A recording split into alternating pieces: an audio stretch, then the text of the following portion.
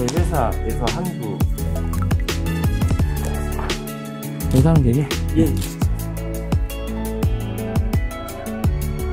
안녕하세요. 색소폰 연주자 루카스입니다. 어, 오늘 코스모스 악기 그리고 주피터 악기와 계약을 어, 하러 이렇게 왔습니다. 어, 주피터 악기랑 같이 이렇게 어, 일을 할 수 있게 돼서 음, 너무 행복하고요. 뭐 코스모스 악기는 뭐 음악을 안 하는 사람도 다 알 정도로 너무 이제 큰 우리나라 음악 한, 음악 악기에 있어서 큰 회사인데 그 회사랑 이렇게 이제 같이 일을 할 수 있다는 것 어, 매우 기쁘게 생각을 하고 이미 또 많은 어, 선후배들이 또 코스모스 악기에 이제 endorser 활동을 하고 있는데 다들 어, 만족을 하면서 저한테 좀 그 추천을 많이 사실 좀 해줬어요.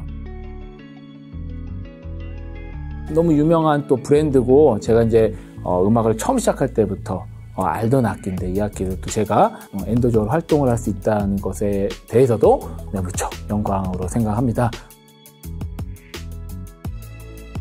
일단 뭐 하기로 했으면은 열심히 하죠. 예, 저도 열심히 하고 아, 코스모스 악기도 열심히 하고 해서 이제야지 해야지 좋은 게 나오니까 유튜브 방송을 한 달에 한 번씩 라이브 방송을 하는데 그거를 이번 달에 제주도에서 하기로 해가지고 일단은 뭐 그런 식으로 홍보 영상 같은 거 할 때 일단은 좀 많이 좀 저는 그거 생각하고 있었고 한 달에 한 번씩이라든지 뭐 이렇게 촬영하는 거 얘기를 하시더라고요. 그래서 네, 그런 것도 촬영하도록 하고 좀 여러 가지 생각을 좀 저도 좀 해볼게요.